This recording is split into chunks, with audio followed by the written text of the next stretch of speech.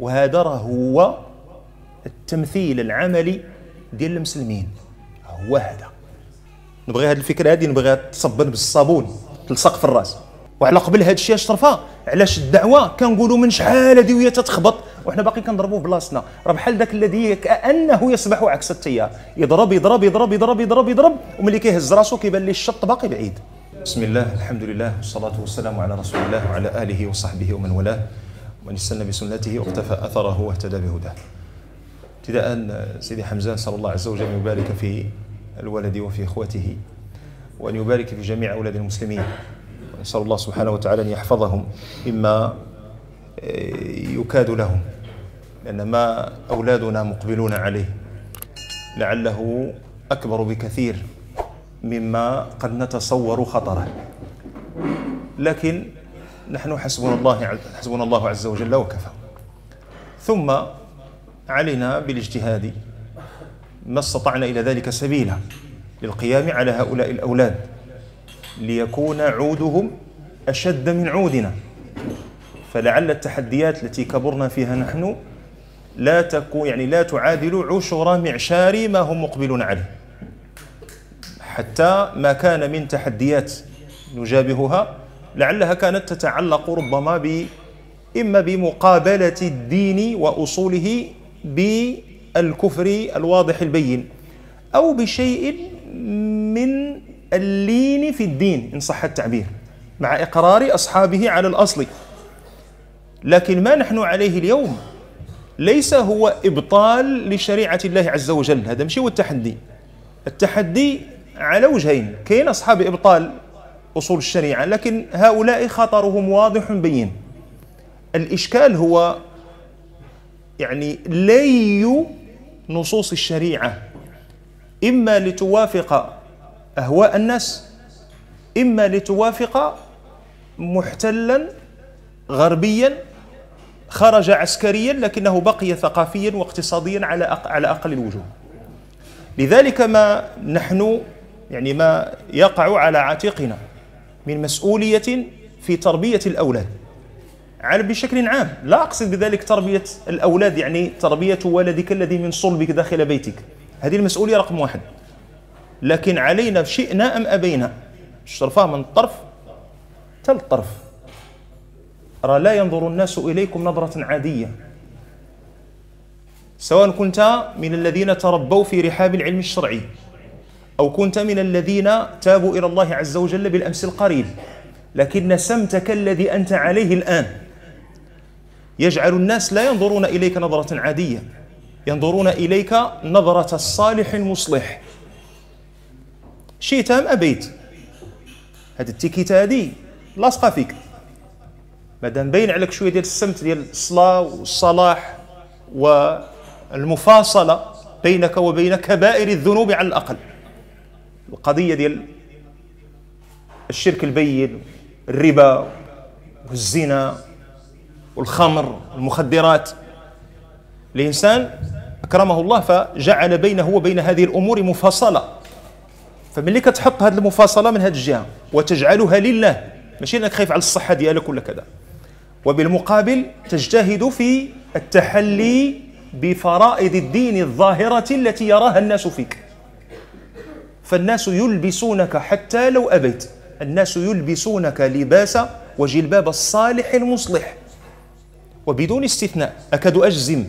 لو ما كاينش واحد هنا في الحاضرين إلا وأتاه رجل لا يعرفه.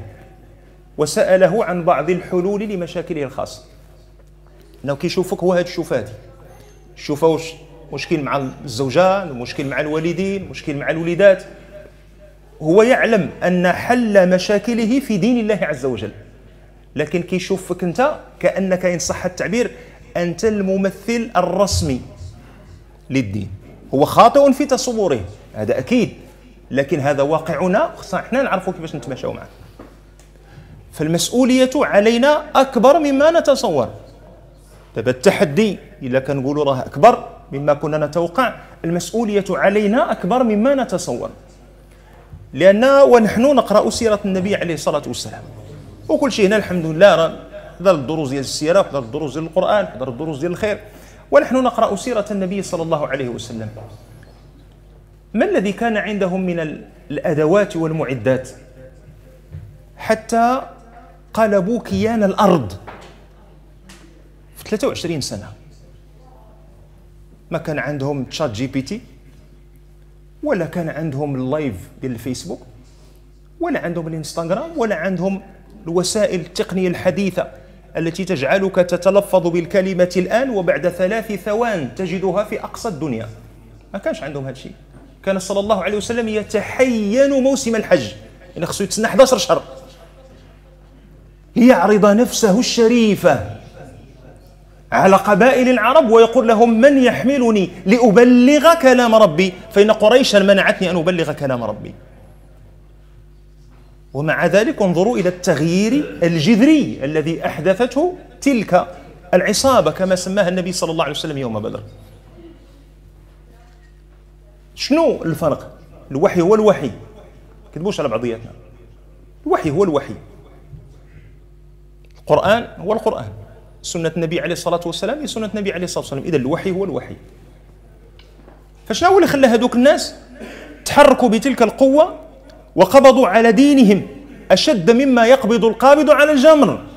لأن يعني القضية ما كانت سهلة. حنا كنقراو داك الشيء جوج سطيرات إلى آخره كيقول لك حقا ولا لاحظتوا في كتب السيرة عموما إلا بعض المستثنيات من أهل من ذهب إلى سواء كان في مرحلة التأسيس في السيرة أو مرحلة الاختصاص أو التخصص عفوا. هو الذي يسلط الضوء بشكل يعني تحليلي تفصيلي على مرحلة الحصار في الشعب في شعب أبي طالب السنة السابعة للسنة العاشرة للبعثة لكن عموم كتب السيرة وعموم من تحدث في السيرة النبوية يمرون على هذه الفترة مرور الكرام يقول لك والشعب تكرفصوا كذا إلى آخره. أي شريف راه ثلاث سنوات. شكون فينا إحنا الذي حوصر ثلاث سنوات بتلك الظروف؟ أكلوا أوراق الشجر. المهم الكلام الذي تعرفونه. المعلومات عندنا. لكن من يحمل هم هذه المعلومات ليبلغها للناس؟ من يحمل على عاتقه مسؤولية على الأقل أن يشارك من خلال مواقعه التي ينشط فيها أن يشارك ما يقوم به الناس من محاضرات. غريب أمر الناس وغريب أمر الذين يرى فيهم أنهم صالحون مصلحون. على الأقل على الأقل أن نحس من خلال مواقعك التي تنشط فيها أنك تحمل هم هذا الدين.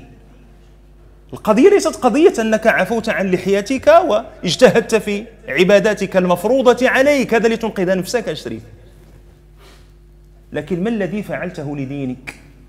ما هو الإرث الذي ستخلفه أنت لهذه الأجيال التي نحن كل مرة ندعو لها ونقول يا ربي اجعل وقتهم أحسن من وقتنا ويا ربي دير لهم ما الذي فعلته أنت. النبي صلى الله عليه وسلم أخذ جعفر بن أبي طالب ومعه مجموعة من من المسلمين وقال لهم في القصة المعروفة اذهبوا إلى الحبشة فإن بها ملكا لا يظلم عنده أحد. طيب هذا الشيء وقع في السنة الخامسة. علاش بقاو معاه وحدين أخرين في مكة؟ حتى هما راه نالهم العذاب دوك اللي بقاو في مكة. علاش ما صيفتش الاخرين علاش مشات هذيك المجموعة؟ هذيك المجموعة ما مشاتش فرارا فقط من قضية التعذيب ولا كذا لا جعفر بن أبي طالب راه هو الذي قدم يديه وعضديه إلى لله عز وجل ثم قدم روحه يوم مؤتة.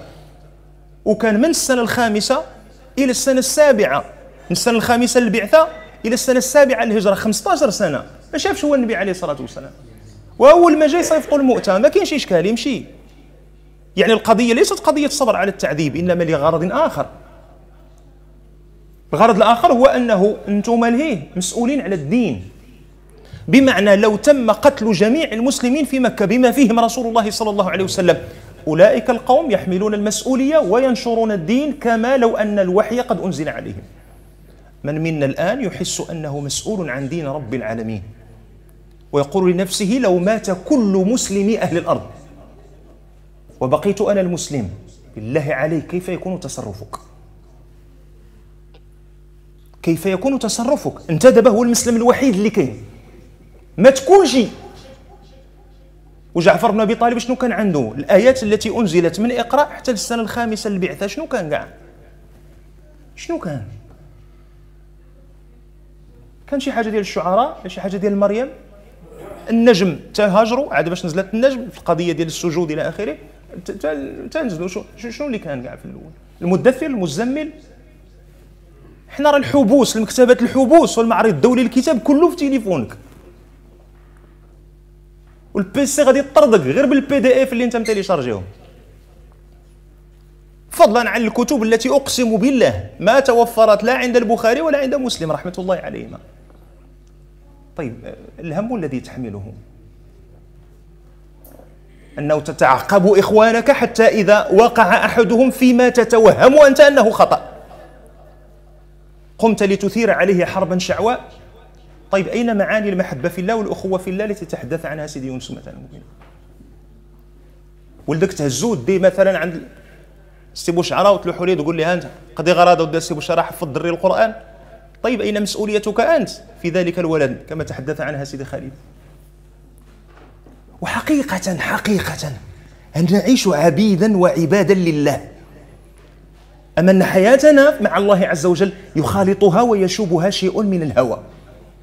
أما أننا نحن نتحقق بالعبودية لله حقا وصدقا؟ كما قال سيدي أحمد الويزة حفظه الله. سيدنا نحتاج إلى مراجعة لأنفسنا.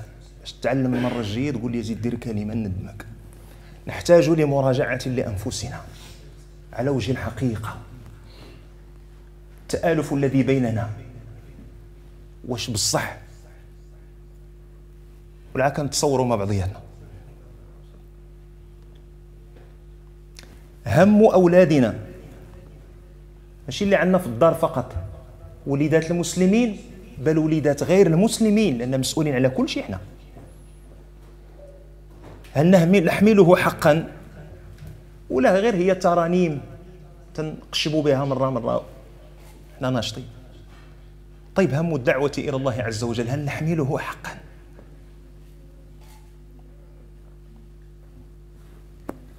هذه فقط أسئلة. أجوبة تكنولوجيا كاينة اللي أجوبة. موجود. كتب غير كيف كذا وكذا الله تيوريوك كيف تصنع الصابون في الدار. ولعله من أسهل ما يصنع. الصابون البلدي لكن الأسئلة اللي توجهك التوجيه الصحيح. حيث ما حد الأسئلة في دماغنا مغلوطة. يقينا ما يمكن الأجوبة تكون إلا مغلوطة. وإن صادفنا الصواب. فنحتاج إلى إعادة طرح الأسئلة الصحيحة على أنفسنا. حتى نكون في مستوى التحديات التي نريد من أبنائنا أن يكونوا أقوياء بالشكل الكافي لمجابهتها. الدخول في تفاصيلها لا يتسع المقام لذكره ولا يحسن ذكره في هذا المقام. هي فقط كلمة أستغل الجمع على اختلاف مشارب حاضريه وعلى اختلاف خلفياتهم. وهذا هو التمثيل العملي ديال المسلمين. هو هذا. اختلفوا في شي حويجات اختلفوا حتى في شي أمور اللي هذه وهذه لكن هادو هما المسلمين. وإشارة أخيرة. سيادنا راه ما كندويش على الحال. نبغي هذه الفكرة هذه نبغيها تصبن بالصابون تلصق في الراس. وما كندويش مع المحجبات والمنقبات. شنو اللي فيقني لهذه القضية هذه كلنا كنا في دار غفلون شنو اللي فيقني لهذه القضية هذه واحد المرة غادي أنا واحد أستاذ صديق غاديين في الطريق. السياره وقفت في وسط عرضات وسط الطريق عرضات فرانات بحال هكا وسط الطريق نزلات منها واحد المرأة. مرأة متبرجة. لا حجاب لا والو. والشعر مطلوق مبيضرات لابسة واحد كيطمه ديال الرياضة. وتنزلات وجاية عندنا عاد باش كأنها وعات باللي راه بحال نقول لك راه هذه اللبسة؟ لا تليق وما ديرش ماشا ديال الاستاذ ياسين المهم ديك اللازمة اللي كتعرفوها أستاذ ياسين بخير لبس عليك راه كنتفرج. كنتفرج داك الشيء ديالي إلى آخره. المهم محل الشاهد. بارك الله فيك. قالت لي واحد اش ممكن ناخذ معك صورة؟ قلت لها ناكل العصا في الدار فاللهم سيريتي الله يكثر خيرك. جعلي بلاصة الصورة جعل لها دعاء في القلب. بسلامة بسلامة. دارت لي في دماغي. من بعد سؤال هجم عليا. قال لي هذيك السيدة دابا بديك الحالة اللي جات عندي. الله يعافيها ويعافي جميع بنات المسلمين. هذيك السيدة لو قد قدر لي أنها دازت قدامي ما سلمات ما شي حاجة. هل كان ليدور بخلدي ان هذيك السيدة كتصنت المقاطع ديال واحد الحي يذكر الناس بالله عز وجل. نهائيا. ما نكذبوش على بعضياتنا. نهائيا. غنقول هذه بينها وبين الدين كما بين السماء والأرض. المهم ديك الهضرة اللي أنتم عارفينها. فاكتشفت تخيل قبل المرض راه كتخلع لأنك تكتشف شي حوايج في راسك. فاكتشفت في نفسي أن رغم كل ما ندعيه في خطاباتنا أن كلامنا للعالمين ولجميع الناس وللبر والفاجر والمسلم والكافر لا شريف لا. في حقيقة الأمر خطابنا لمن يشبهنا. وكأننا داخل نادي اللي معلق فيه الباج اللي عليه واحد الإشارات معينة واحد جوج ثلاثة أربعة خمسة. هذا هو الذي نخاطبه. شئنا أم أبينا؟ في ثنايا خطابنا نخاطب من يشبهنا ظاهرا. وعلى قبل هذا الشيء اشرفا علاش الدعوة؟ كنقولوا من شحال هذه وهي تتخبط؟ وحنا باقي كنضربوا بلاصتنا. راه بحال ذاك الذي كأنه يسبح عكس التيار يضرب يضرب يضرب يضرب يضرب يضرب وملي كيهز راسو كيبان ليه الشط باقي بعيد. ونفس القضية على الشباب الذكور. بل في بعض الأحيان كان في خطابنا نوع من الاستعلاء والاستهزاء بهؤلاء. في حين أنه راه كيقول لك أودي لا هذاك السيد راه هذيك الستيكه وراه تيضرب الجوانات والله سيدي في الليل راه ما تينعش حتى كيتصنت لسي حمزة الخالدي في الدرس ديالو أو ملي تدخل عنده مثلا يقول لك أجي سميتو أستاذ لا والو دخل وخا تشرب عندنا كاس ديال أتاي. كتدخل ماشي تشافك دخلتي عاد قلب كتدخل كتلقى قناة الأنس مثلا خدامة. راه هذاك الشيء اللي كاين. حتى كيقول لك عبس هذا هو اللي كيوقدنا وكيقول لك شوف راه نديرو تنديرو. والله الا هذا الكلام هذا اللي هو اللي كاين. اذا عندنا واحد الشريحة هي أوسع الشرائح وهي أكثر الشرائح التي لا نخاطبها لأن التصورات الأسئلة التي يجب أن نطرحها غير واردة. فكيفاش بغينا وحنا خطابنا ديال نادي مغلق بغينا أننا نوجه به وليداتنا ضد مد عالمي يجلب علينا بخيله ورجله. ويستفزنا بصوته ومزاميره. الشرفاء ما ينتظرون من مسؤولية بعد ابتداء. حنا حنا بعدا خصنا نصحوا شي شوية الوجهه نصحوا التصورات. باش إلا بغينا نوقفوا على دوك الوليدات يكون النقلة ديالنا تكون صحيحة. آمن الرسول بما أنزل إليه من ربه. عاد باش هو المؤمنون. هو صاحب الرسالة ويحتاج للإيمان بها. كما كل منا يحتاج ابتداء إلى تثبيت هذا اليقين ولا يتثبت هذا يثبت هذا اليقين من خلال تصحيح التصورات. سيدي موسى قال لي بارك عليك. نسال الله ان يبارك فيه وان يحفظه وسائر أولاد المسلمين. سبحانك اللهم وبحمدك نشهد أن لا إله إلا أنت نستغفرك ونتوب إليك وصلي اللهم على محمد وعلى آله وصحبه أجمعين والحمد لله رب العالمين. لا تنسوا الاشتراك بالقناة ليصلكم كل جديد.